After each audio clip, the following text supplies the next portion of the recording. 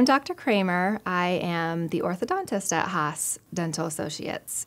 Okay, so I knew from a very early age that I wanted to go into the medical field. I just didn't know which route to choose. So after I graduated from college, I decided I would go into dental school. So I started off as a general dentist. And I practiced that for a year and I loved it, don't get me wrong, but I just felt like orthodontics was the way I wanted to go.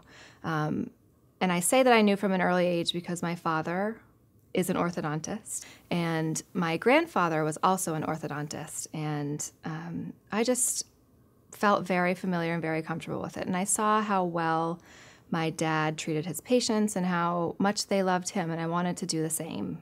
Um, I liked being treating children, um, and I liked being able to make a difference um, with their smiles. So I chose orthodontics. I went back to school for a couple of years. So I went to Tufts in Boston and I graduated in 2012 and um, became an orthodontist, and I've been practicing since then.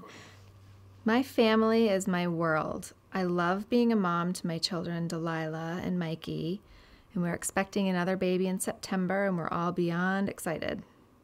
Um, my husband Brian and I spend lots of time together, and we enjoy being a family.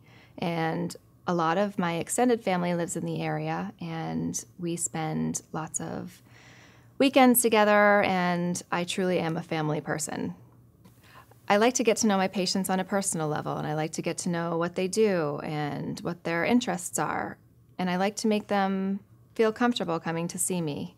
It's truly a gift to be doing what I love, and I love being an orthodontist, and it's something that I wouldn't change for the world.